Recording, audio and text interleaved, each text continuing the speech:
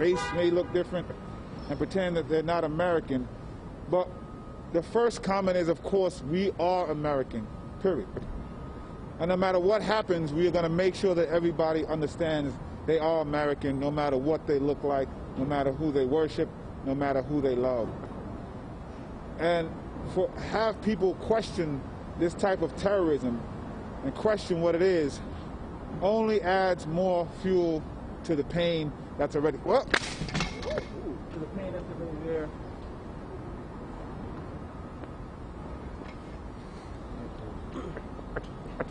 Only adds more fuel to the fire, only adds more salt to the pain that's there. But we have to do more than send prayers and thoughts and well wishes, and we have to do more than just stand in solidarity. It's time for action. And that action must undo so much of the damage that was allowed to be pervasive in the past four years. We know and we want to make sure that people who do this are held accountable for the pain that they're causing, the pain of the people's families who lost those lives, but the pain of the people who are experiencing anti-Asian violence every single day. It's up tenfold in New York City. There is pain and trauma that's associated with that as well, and we can't ignore it. Last year, there was an anti-hate initiative that was, fu the funding was cut. The funding was taken away. And so while we hear cries uh, for increase in law enforcement, and we know they have a role to play, I'm appreciative of the leaders who are also standing with the black and brown community who know the impact that that often has on those communities on us saying, wait a minute, let's make sure that we do this right. And the way to combat hate education is with proper and different education. And there are things that can be done through community groups that actually asked for this money before this even happened. And that money was taken away. And what we're asking is not only that this funding be restored, but it be increased. Because it didn't even have enough focus on anti-Asian violence, even as people were blaming this community. By the way, that community has amongst the lowest uh, virus rate of any community I've seen watching the data, and the virus that came here were, came through Europe. But we didn't put enough money in there even for those groups. So while we are decreasing things like Division of Youth Community Development and trying to increase the NYPD, we want to make sure we send the appropriate message. And the message is the way to combat hate is to fund the folks behind me who have experience in these communities, have experience pushing back in hate. If you want to stand with them, if you want to treat, fund them. Fund them. Because we want to prevent this from happening. Law enforcement responds once it has happened, but the trauma is already done. So we're asking the city in this budget negotiation, and even in the state of the access to funds, to put this initiative back and fund even more than you were planning to fund last year. And so we're going to hear from a few folks today. First, I'd like to hear from Councilmember Adrienne Adams, who's the co-chair of the Black, Latino, and Asian Caucus. It's important, and I, and I always want to thank the Asian leaders who stood and, and were yelling out Black Lives Matter uh, last year, and even before that. So important to the civil rights movement. I want to thank them, and we stand with them today. Thank you so much, Public Advocate Jumaane Williams, and good morning. I am Councilmember Adrienne Adams. I represent the 28th Councilmanic District in Queens. And before I begin my remarks, I just want to say that the attacks that happened in Atlanta were a hate crime. Let's be clear about it. Let's not mince any words. What happened in Atlanta this week was a hate crime, despicable hate crime. So I'm proud to join Public Advocate Jumaane Williams and our advocates today to condemn the recent vile attacks on the Asian American and Pacific Islander communities. I am horrified, saddened, and angered by the reprehensible murder of eight people in Atlanta, six of whom were Asian women.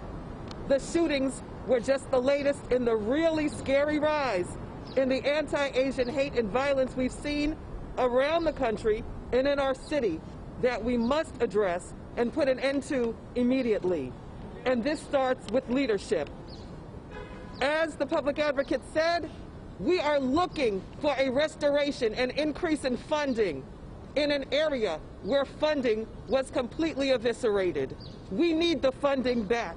As a member of the budget negotiating team of the New York City Council, I will pledge to continue to advocate for that funding to be restored and increased. We must denounce the recent shootings and the wave of anti-Asian violence, but also to tell our Asian American and Pacific Islander communities that you are loved. We see you, we hear you, and we are here to support you. As co-chair of the Black, Latino, and Asian Caucus of the New York City Council, I stand in full solidarity with our colleagues, with the Asian American and Pacific Islander communities, and everyone who stands in true unity to denounce hatred and bigotry. You have my full support, and we will continue to work together to end these hateful attacks. My heart goes out to the families and communities of those who were killed and injured during this week's shootings. I hope we will see swift justice for the victims and their families, and that the perpetrator is held fully accountable, not for his bad day, but for his killing spree. Again, thank you, public advocate, my friend Jumaane Williams, all of my colleagues in government that I know stand with me today, and all of our advocates and friends who stand to my left and to my right, who've been working to against this rise in anti-Asian hate. Let's stop hate in its tracks once and for all. Thank you. Thank you, Council Member, for your leadership as well. Uh, next, we're going to call up uh, Jo-Ann Yoo from the American uh, uh, Asian American Federation and Wayne Ho from the Chinese Planning Council. Thank you, Public Advocate, uh, for bringing us together. Thank you, our friend Jumaane, for bringing us together. Thank you for always being such a powerful and thoughtful ally to the Asian American community. During such sad time in our city and country, it is so reassuring to have an ally we can trust and count on. Um, as Jumaane said, we need to talk about the victims and we need to uplift their stories. I want to tell you about two of them. Hyun, Hyunjung Park loved to dance and eat sushi. She was an elementary school teacher in our homeland, but immigrated here for all the reasons why immigrants come to America. Her 20-something-year-old son is now the head of household and having to take care of his little brother because his mother was gunned down. Xiao Tian went to China last year to celebrate Lunar New Year with her family, with her mom and her sisters. Her kids now um, are motherless. I want to tell you that, the, that behind the victim label, the six Asian sisters and the two res residents who were murdered on Tuesday were moms, sisters, daughters, and each had a beautiful story of joy, immigrant struggle, and love to tell. We now need to tell their stories because they are no longer with us. One year ago, I co-wrote an op-ed the consequence of all of this unfettered scapegoating and hate against our community was going to lead to something terrible. And on Tuesday, my worst nightmares became reality in Atlanta with the deaths of eight people, six of them who are Asian women women who looked like me. During this time of so much violence and hatred directed at the Asian American community, one way to prevent tragedies before it starts, as Jumaane said, we need support, we need money. We need lots of money with lots of zeros, elected officials, because we need to build solid foundations of community safety programs in language delivered with cultural relevance. So the solution to racism is radical investment in community and community groups we need to have money to address mental illness, homelessness, and unemployment, and other challenges that have never been meaningfully addressed in this city. Federation is uh, has been fortunate enough to be invited to sit with the Department of U.S. Department of Justice leaders, with the White House Initiative, to present ideas on how what what is next. And I am certainly going to going to be raising the uh, points that um, our public advocate has shared. Um, and I want to tell you this is my call to action. For all of New York, all New Yorkers, please call your elected officials to share your concern and show your support for the Asian American community. Ask that they put meaningful funding into um, the programs that we're talking about. Two of those, the, the funding that got cut last year, two of our member agencies were receiving that support. They were doing great on the ground, meaningful work, and now that program is no more. We really need that program back. Please ask your own organizations and companies to support AAPI community and to make meaningful investments in their own institutions to better protect those facing hate. Sign up through our upstander training to learn how to protect yourself and loved ones from hate through de-escalation and self-defense. And lastly, join us at our Peace Vigil on Friday, uh, this Friday, today actually, at 6 p.m. at Union Square. We are holding a vigil to mourn the victims of senseless violence and brutality and to recommit ourselves to building community to ensure greater safety for all of us. Please stay strong, please stay safe, and take care of each other. I also want to uplift all the groups in Atlanta doing the impossible work of supporting the victims' families and healing our community at this time. I want to lift up Asian Americans Advancing Justice Atlanta, National Asian Pacific Women, American Women's Forum, Center for Pan-Asian Community Services, and so many others. Again, we stand with Jumaane um, with the budget asks, and we're going to be asking for uh, budgets with many, many, many zeros. Don't be shocked because we are not playing and we are so committed to making sure our com no community in New York City ever has to be in this position ever again. Thank you.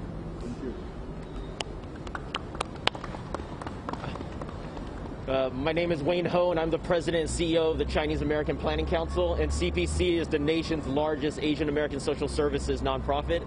I want to thank Public Advocate Jumaane Williams, Council Member Adrienne Adams, and all the allies who are here today to stand together, not just Asian Americans, but black, brown, and other siblings together to say that there should not be hate in New York City and in the United States, that we denounce and condemn any hate crimes and violence against the Asian American community throughout the pandemic for over one year, CPC had been providing essential services.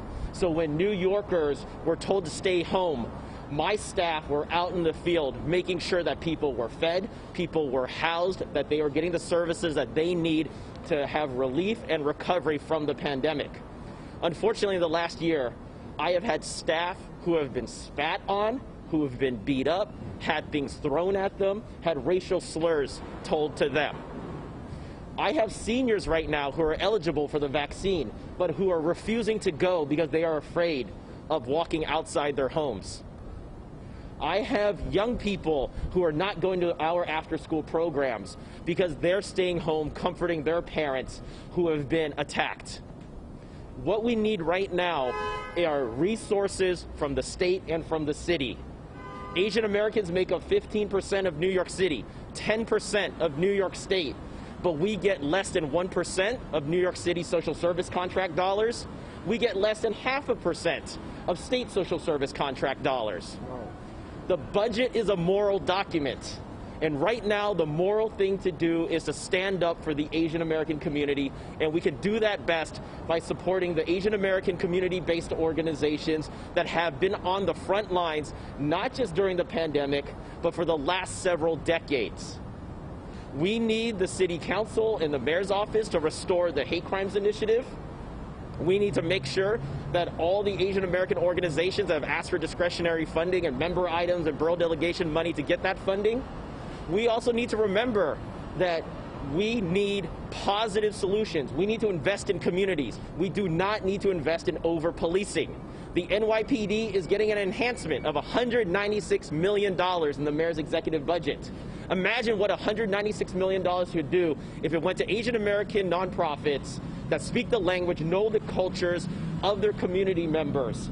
We need restorative justice. We need mental health services. We need to address housing. We need more jobs. We need violence interrupters. We need upstander trainings. We need escorts to make sure people can get safely from their homes to vaccine sites.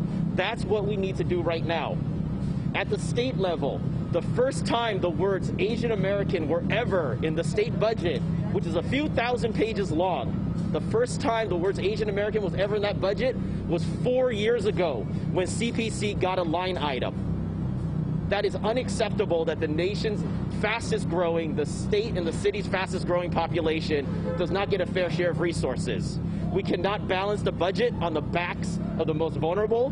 What we need to do is promote budget equity, and that means getting resources to the organizations right now that know how to support our community members. Let's all stand together as one city to denounce hate and to make sure that we have safety for all and dignity for everyone where you live, work, play, sleep, eat, and worship. Thank you very much. Thank you, everyone. Um, we do have a, a, a few speakers left. We know it's cold, so we're going to ask folks to uh, just think about that while they're speaking, please. Next up, we have uh, Deepika from the Arab American Family Support Center and Vanessa Wong from Chinese American Children and Families.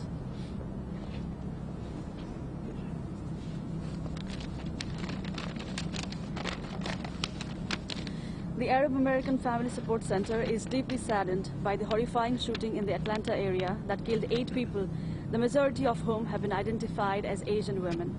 We extend our deepest condolences to the families impacted, and we join the collective outcry for an end to such acts of hate. This latest tragedy follows a troubling increase in violent incidents targeting the Asian American community since the start of the COVID-19 pandemic. Asian American communities in New York and across the country, already grappling with discrimination, racism, and xenophobia, have also been made with hateful rhetoric and false narratives that can only intensify this pain. According to the New York City Commission on Human Rights, 205 incidents of Asian American discrimination in New York were recorded in 2020 alone, which is a nearly 600% increase from the previous year. And this does not include the unreported incidents that were unreported because of fear and uncertainty. The Arab American Family Support Center condemns these blatant displays of xenophobia and all forms of discrimination that has left our Asian American brothers and sisters feeling unsafe and traumatized in our own communities.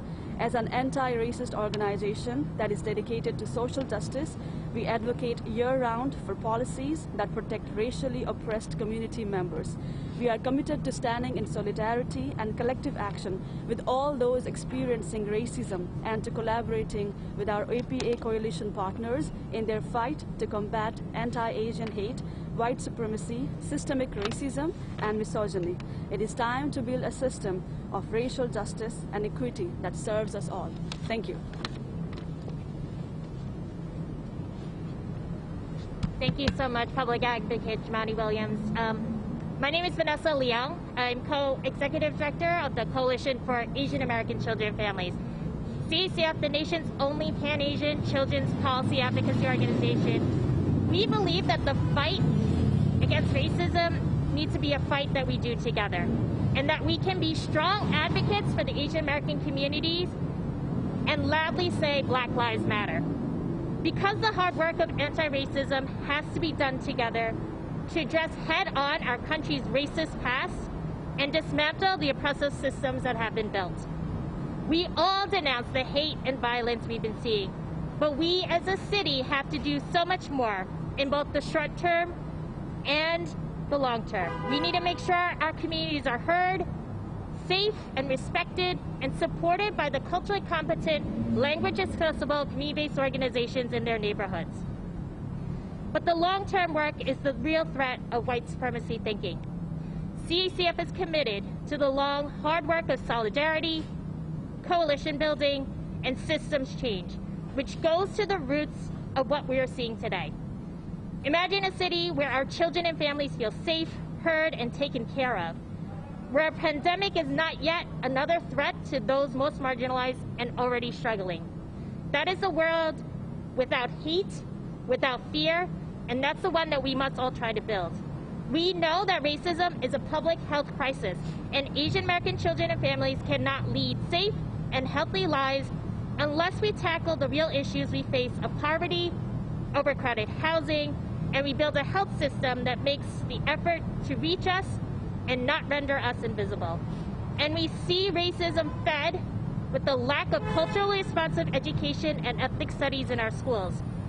When our kids are not given the tools to understand themselves, to connect and empathize with others and to understand our shared collective story, we are not preparing our young people to live in this world. As Asian Americans, we've learned that our acceptance as American is conditional. We saw when our highest office scapegoated us for a global pandemic and a failed response. But we've seen it throughout history. We've seen how the model minority myth erases our struggles and our pains, as well as create a wedge for white supremacy to spread. So CACF stands ready to work to start dismantling the systems that have caused so much trauma in all of our communities. And this is our call to action, and we are so grateful for our partners in this fight. Thank you. Thank you. I'm going to call up the, the last uh, few speakers. Uh, Ali Kaba from Muslim Community Network, Stephanie Wu from Hunger Free America, uh, Reem Ramadan from Anti-Violence Project, and Biju Kashi from South Asian Bar Association. And if Sophie Ellman-Golan is here from JFREJ as well. Sorry? Yeah. Okay. You see me? Okay, okay, okay. Uh, my name is uh, Ali. I am from the Muslim Community Network. Uh, can you guys hear me? My name is uh, Ali. I am from the Muslim Community Network. Uh, I just have a statement from MCN, and also I want to thank uh, Guinean Women for hosting this. This is very important. Uh, MCN is really saddened about what happened in Atlanta, in Georgia. We find it very disturbing and appalling. And since the start of this pandemic, our Asian American, our Asian American brother and sister has experienced an increase in hate, uh, hate crime and target attack, and this must stop and we are standing in solidarity along our Asian American brother and sister. We condemn all acts of hatred and lend a listening ear to the Asian community during this uh, painful time. The Muslim community is no, is no stranger to hate. We have been a victim of the hate since 9-11. One of our popular programs in the past has been our self-defense workshop for the Muslim women who came to us in highest on numbers to find ways to help protect themselves against assault. MCN has been working with our interfaith partner for years to help deepening the understanding of the Muslim American. Our diversity work in school is one of our most impactful to help combat hate and bullying in school. MCMS was, grace, uh, was graceful to receive our funding for the Hate Crime Prevention Initiative that the City Council funded last year. And with that funding, MCN was able to launch a hate crime survey where we collected nearly 200 uh, surveys from the individuals and youth throughout New York City. What we learned is that this is a world before coronavirus, is that the hate is still prevalent even in a city as diverse and multicultural as New York City. We developed our network with Masjid, throughout New York City where we disseminate information about the city hate crime reporting system. And through this work, we were able to gain the trust of the community to report the hate crime. We collected 200 surveys, and we found that the young children and women are the most at risk of being a victim of hate crime, of hate. Verbal abuse and damage to business, and a personal item like cars, which don't always constitute as a hate crime, is very prevalent. We, are, we were very saddened that the city council did not renew the funding in this area because our work remained incomplete. There's still there there still continue to be hour for the priorities of politics, uh, polarizing politics of the last federal administration. We need more programs similar to Broken Break Breaking Bread to help the community together so that we can so that they can understand and foster solidarity with uh, each other. The Muslim, uh, the MCN has pivoted our uh, pivot has pivoted our work toward advocacy, such as to push for the resolution of 1257, which uh, brings religious diversity training to New York City. We are continuing to remain in solidarity our Asian and Sikh and Jewish and all minority com uh, community to combat white supremacy and hate throughout our city. Thank you. Thank you. Uh, Stephanie, I was just going to ask, I know it's cold, I want to make sure everybody has an opportunity if we can paraphrase some of it. Thank you. It'd be helpful. Thank you. So, super brief. My name is Stephanie Wu Winter. I'm with Hunger Free America.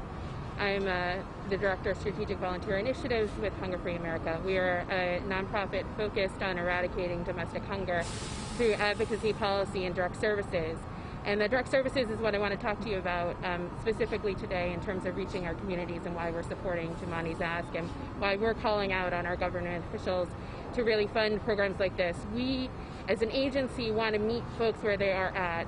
We, I, as an uh, organization, we are super diverse. We speak multiple languages to reach communities, um, and that's been really tough.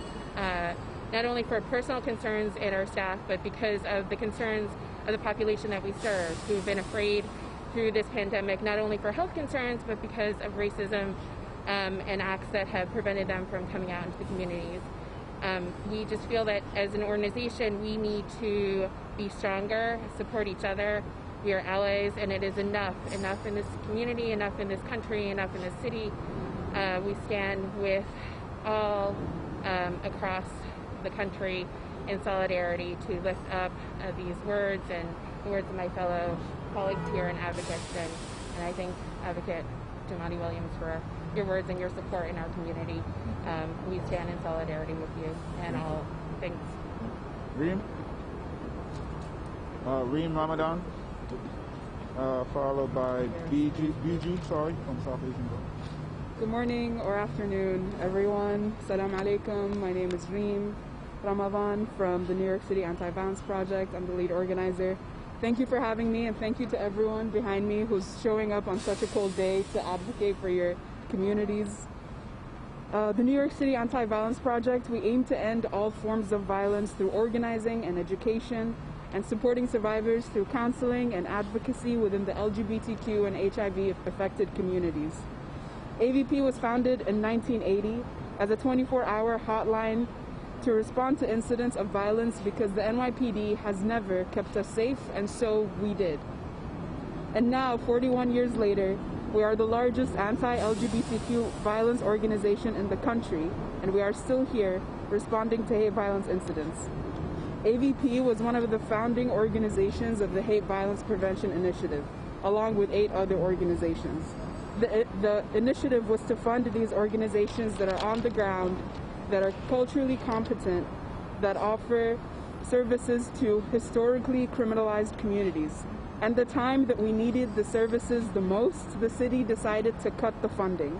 In the middle of a global pandemic that skyrocketed our community's exposure to violence, especially the Asian American and immigrant communities. And the answer to hate violence is not heightened security.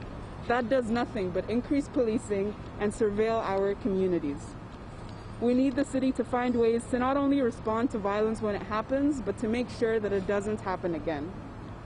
To get to the root of it and to work towards prevention.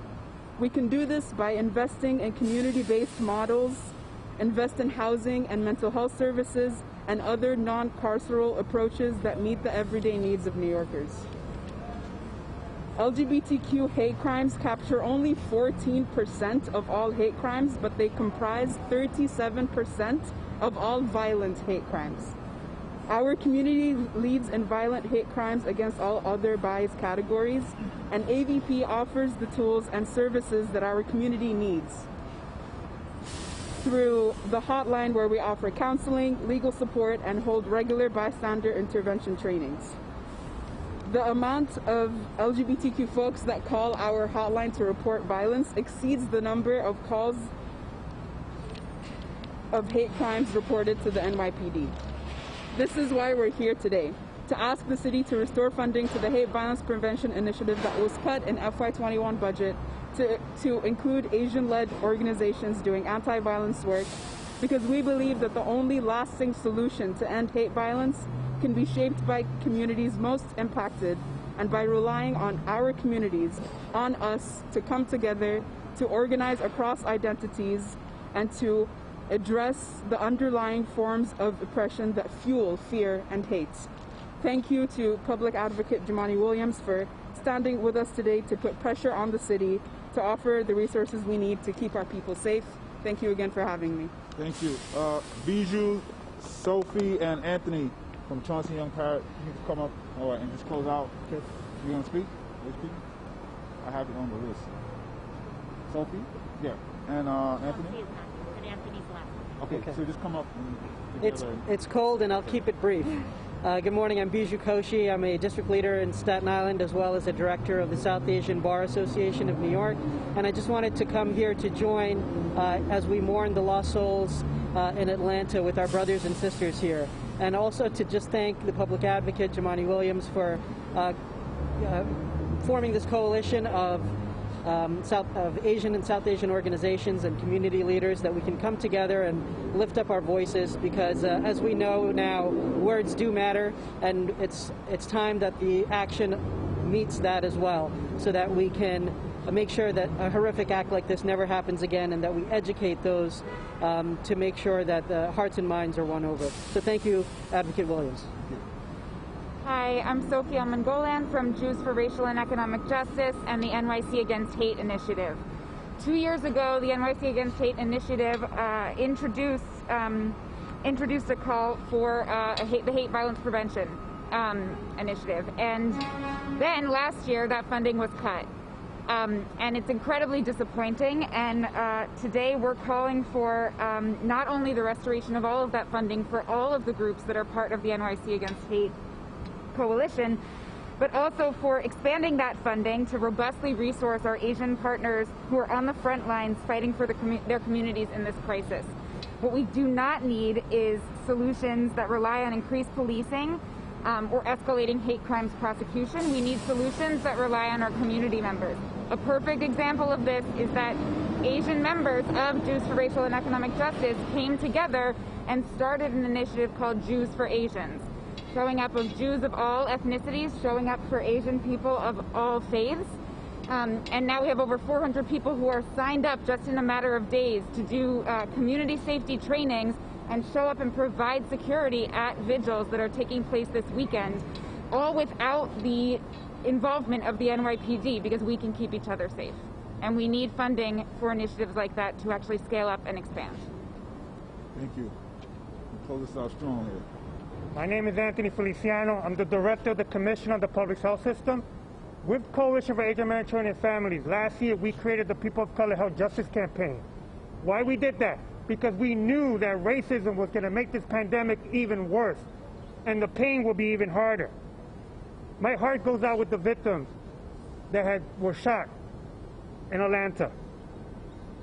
But we know that white supremacy has fueled racism, misogyny, violence against women and all people of color. We know, as I know, as a Latino male, as a Puerto Rican, born and raised in this neighborhood, is my community myself has experienced all forms of oppression and violent hate and attacks also in the Asian Pacific Island must be seen as an attack on all of us. White power structures use us as pawns so that we spend our energy fighting each other rather than working together and fighting for the true orchestrators of the oppression. We have to be brave. We have to be courageous. There's no longer a shell game with money that's supposed to go into communities. We have to stop. Let's not have this false sense of security that over policing is going to work. It is not. There is money. There is stimulus dollars coming to the city and the state. There is money. And if we have to shuffle it, if we have to move it, that's what we must do in order to protect communities of color and to stop Asian hate. Thank you. Thank you very much. I also want to thank uh, Chinese Benevolent Association, Taipei Cultural and Political Center, and SAPNA uh, uh, for being here. Uh, just two things I wanted to add that are ancillary but connected. As I mentioned, this is what happens uh, when we don't recognize how deep white supremacy is in this country, and it's combined with a country that has a demonic obsession to guns, uh, demonic obsession to access to as many guns as people want to have. Lastly, I'll continue to ask law enforcement all across the country that uh, um, from the black and brown community, especially the black community, we're asking uh, that you treat unarmed black Americans the same way you treat armed white Americans who have murdered people and are simply having a bad day. Uh, with that, we're happy to ask, answer any questions that folks have.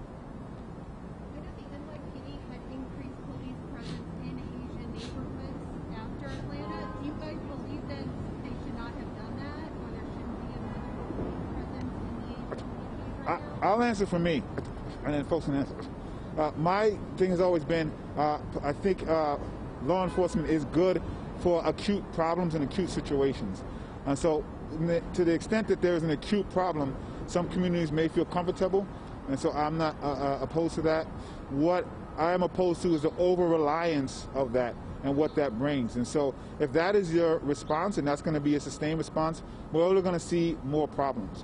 And so, what we need to do and need to focus on even more is investing in the communities that are behind, uh, represented by the folks behind me. You can't cut these folks' programs and then say what we're going to do is send police. These folks are funded to prevent the stuff from happening to begin with. And it's really important that we push back on the miseducation that's been happening for years by funding these uh, communities. I don't know if anybody else. And just, I have one other question. Sir. Why do you, it seems like this is all coming to a head now towards hopefully the end of the pandemic, a few months into the Biden administration. Why do you feel like this seems to all be coming to a head at this point in time? Or does it? Is it not? Well, white supremacy has been here for a while. I don't mean, I mean, I mean anti-Asian Uh, well, I, I will say that there depends what you define coming to a head. The mass murder is terrible, but these communities have been dealing with a rise of hate crimes long before that, and there's trauma associated with that that maybe wasn't being covered uh, by the media.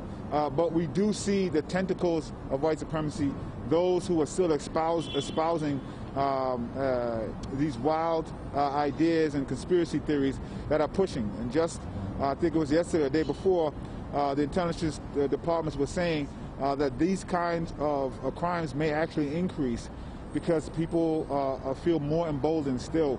We had four years where the President of the United States was saying things like China virus and Kung flu, like four years of that. And there are people who were supporting him. Those people are still in high places. Uh, those people are still pushing this narrative. Uh, and the end result of that has always been all over the world these types of acts. Uh, and what we try to do is stop it before it happens. But there are many in this country who, continue to want to try to encourage it. And the way we think to push back on that is funding groups like these so, so they have the resources that are needed. Anybody? Okay. Anybody? Thank you all so much. Appreciate it.